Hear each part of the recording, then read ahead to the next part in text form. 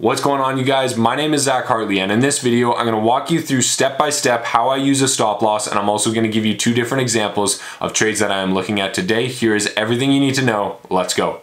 Okay, so first of all, when it comes down to setting a stop loss, there are multiple different ways and multiple different strategies to do this, and everybody can be successful using different strategies, but what I'm gonna do here is walk you through how I think about and how I personally use a stop loss. So if you see somebody else with a different methodology or a different strategy, it's not that they're wrong or I'm wrong, it's that this is how we think about it and, and our trading strategies differ, that's all it is. So here we go. So when it comes to the stop loss, this needs to be determined by technical analysis and support and resistance. So what I mean by that is when I'm looking at a chart and trying to decide where to put my stop loss, I am doing it based on support and resistance and price action. So if I have support right here, I'm gonna put my stop loss just under that so that I know if the stock breaks through that support and it triggers my stop loss, well, my analysis was wrong and it gets me out of that. The other thing you need to think about is that your stop loss must be determined before the trade is made. The reason that I say that is because your stop loss is part of your risk mitigation and risk management strategy. Now, your risk management strategy is something that we need to talk about here because this is what we're basically covering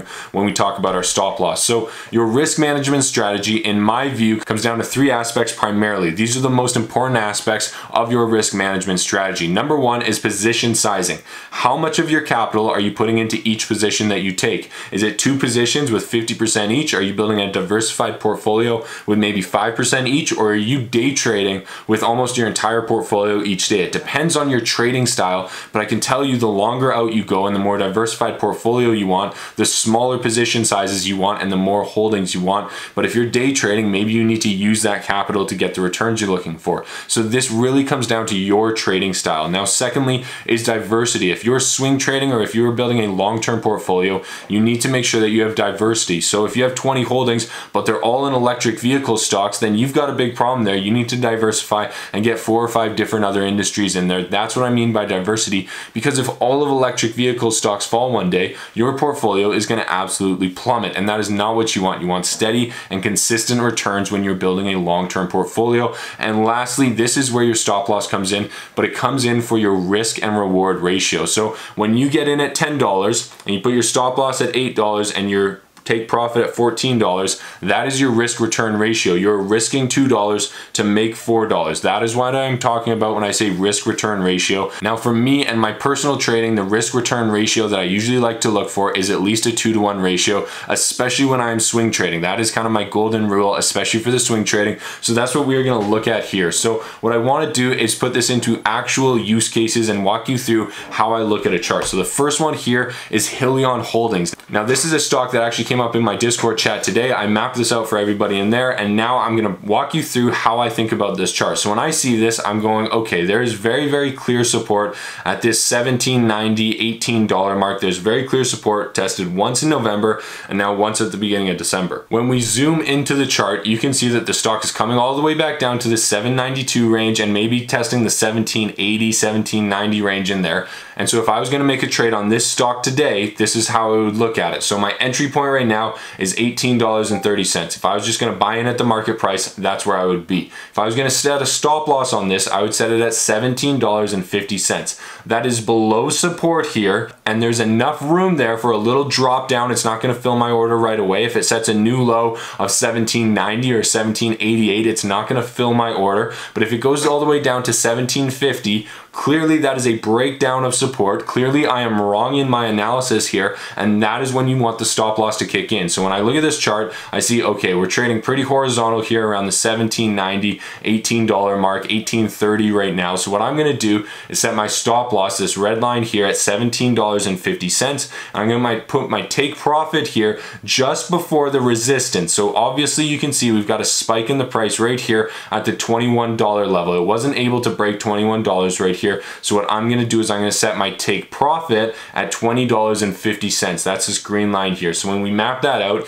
you can see I'm getting into the stock at $18.30. My stop loss is at $17.50. It is below support right here. I'm taking profit before the next level of resistance. So I'm taking profit at $20.50 instead of the resistance level at $21. So that way my order gets filled. Now when we do the math on this, you can see that the risk on this trade is 80 cents. The reward on this trade is $2.20. And when you break that down as a ratio, the ratio is 2.75. So when you take this and you go back and you say, okay, I've got a trading opportunity here. Now let me see if that aligns with my trading strategy. Okay, it's a decent position size. I've got diversity. I actually want to be in this industry and it has a risk return ratio of 2.75, which is higher than my two minimum for swing trading, which means this is a good trade. I'm going to execute this trade and I'm going to get into this trade. Now, if you guys want to learn more about analyzing the stock charts and learning a little bit more about how to actually invest your money into these companies, you should definitely consider signing up for my stock market course. It is completely free on Skillshare for a two week trial. And when you sign up, you get access to the entire course of eight plus hours of content,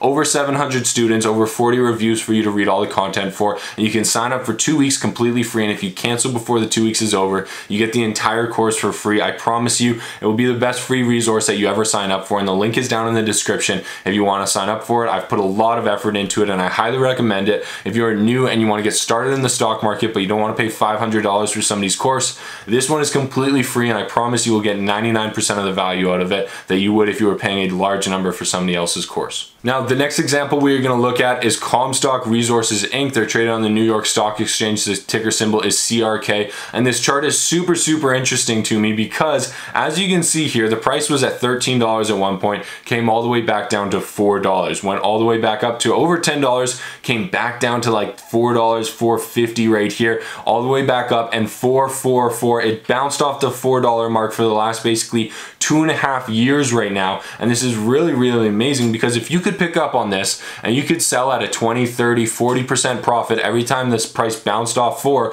you would have had like 10 different trading opportunities over the last two years with this stock. And so what I am really, really interested in is it looks like we're starting to come to the end of a descending triangle here. The price is also starting to come back down to this 4, 450 level. And so when we zoom in here, I want to analyze this stock for a trade. So this is the end of that chart. I'm not looking at it on a four year period. I'm looking at it on a daily period in this chart as you can see. So the end of the chart is back in June, July here, and then today is December 4th, 2020. And as you can see, the stock has basically been trading within this channel, but it's continuously bouncing off this $4 mark right here. And so as of right now, the stock has come all the way down. It's making a little bit of a bounce and it's sort of hovering around $4.75. And so when I analyze this chart for a trade, there's a couple of different things that come to mind. One is we have very, very clear support at $4 here. We have structural technical support where the price has very clearly bounced off of $4. So what I'm gonna do is I'm gonna set my stop loss just below the $4, 410 mark, and I'm gonna set it at four. I'm gonna set it at 390, maybe 380, somewhere in here, this red line.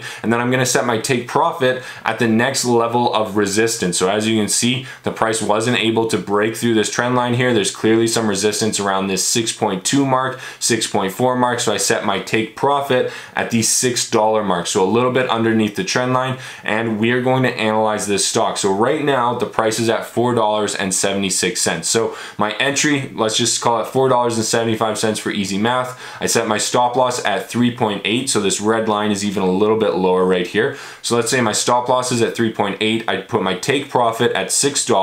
So just below the 6.2 that was up here, I take my profit at $6 right here. And when you do the math on this, you can see that the risk is 95 cents. The reward is only a dollar $1.25 and the ratio is 1.3. So when I ask myself, does this fit in with my trading strategy? The answer is no, this does not fit in with my trading strategy and I should not take this trade. However, is there a level that this trade actually makes sense and does fit in with my trading strategy? And the answer is yes, there's definitely a level where it does make sense. And this is what it looks like. So if I change my entry from 475 down to 440, this little white line here, as you can see it has moved. If I change my entry to $4.40, but I keep my stop loss at 3.8 and I keep my take profit at $6, so those haven't changed at all, the new math on this trade becomes a risk of 60 cents, a reward of $1.60 per share, and a ratio of 2.67. So now this trade makes a whole lot of sense. This definitely fits into my trading strategy, and it's a trade that I would be more than willing to take. So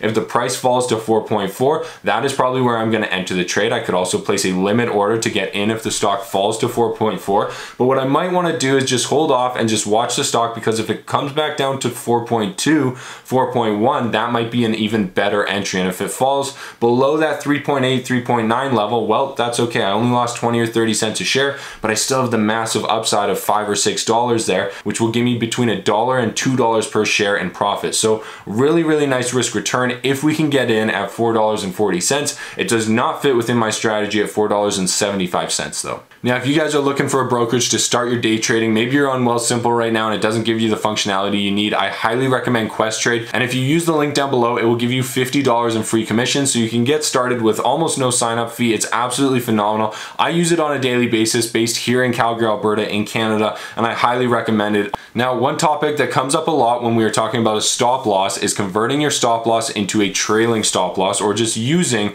a trailing stop loss in the first place. So I want to talk about that for a minute. Now, a trailing stop loss is something that moves up when the price moves up, but it does not move down. So let's say you get in at $10 and you set a $2 trailing stop loss, it will set a stop loss at $8. And as the price moves up to $12, your stop loss will then move up to $10. If it moves up to $13, your stop loss moves up to $11. However, if the stock comes back down to $11, your stop loss does not move and it will execute. Now you can set that trailing amount in either a dollar amount or a percentage amount. It's whatever works best for you. I personally use a trailing stop loss, but I do not start with a trailing stop loss. I wait until my trade has made about 25, maybe 50% of the profit, the target profit that I am expecting, and then I convert that trade into a trailing stop loss. The idea here is that you cut the losers early with a hard stop loss and you let the winners run with a trailing stop loss. So instead of having to exit my trade right at my take profit,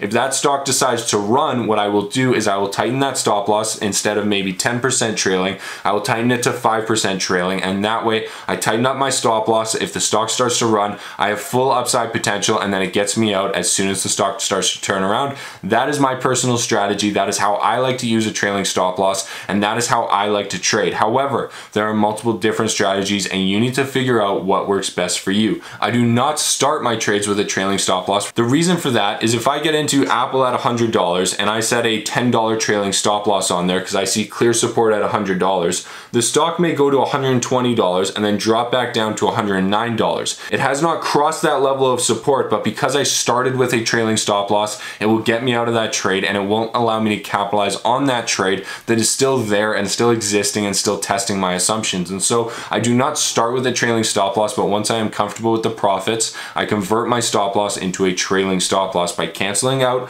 the original stop loss and placing a new one fairly quickly. Now, a couple of notes when it comes to a stop loss. When you trade and when you make a day trade, a swing trade, or an investment, you are making an assumption as to whether that stock will go up or go down. The stop loss should be there and should be designed to get you out of that trade if your assumption is wrong. So if your assumption is that there is support at $100 on Apple stock, your stop loss should be placed so that when your assumption is proven wrong by the price action, it will get you out of that trade so that you can cut your losers fast and you can let the winners run. You can get back in at a lower price on the companies that you like, but you can get out of these losing trades quickly so that you're not a bag holder and you're not holding it in your portfolio. Now, if you're interested in learning more about how I trade and seeing my technical analysis and my watch list, you should definitely consider signing up for my Discord chat. That is where I'm trying to build a community of traders that share the same ideas and perspectives, but want to share their trading ideas and their resources with the community to build each other up. I also post my weekly watch list in there. I post all of my charts in there and a ton of resources that I personally use. So if you're interested in that, you can click the little join button next to the subscribe button, or you can click the link in the description to sign up through my website. I would love to have you there. It is $5 per month. I'm trying to build a community of traders that want to share resources and share trading ideas. Now, in summary, when you are learning about a stop loss and experimenting with a stop loss, you should be doing it in a practice account. You should not do it with your real money when you can blow somebody else's fake money. That is the way that you experiment. That is the way that you play with different strategies. And that is the way that you test the user interface that you are actually going to be trading on. You need to open a practice account. I use mine every single day, even as an experienced trader, and I highly recommend it. Secondly, you need to adopt the principle of cut the losers early and let the winners run. If the stock is falling, you need to sell out and buy back in at a lower level when you see support and when you feel comfortable with it. Do not let that stock drag down your entire portfolio for months and months when you could be investing that money somewhere else and making a return to buy even more of that favorite company that you like at a lower price. That is the way that you should be thinking about it. Also, you need to have a trading strategy. I compare all of my stop losses to my trading strategy to make sure that every trade I make fits within my strategy and you need to be doing the same thing. You also need to be journaling your trades so that you can see where you can improve and you can analyze your trading to become a better trader. And if you get any value out of this video, please consider hitting that like and subscribe button. I sincerely appreciate it and thank you so much for watching and supporting my channel. I will see you guys in the next video. Good luck trading.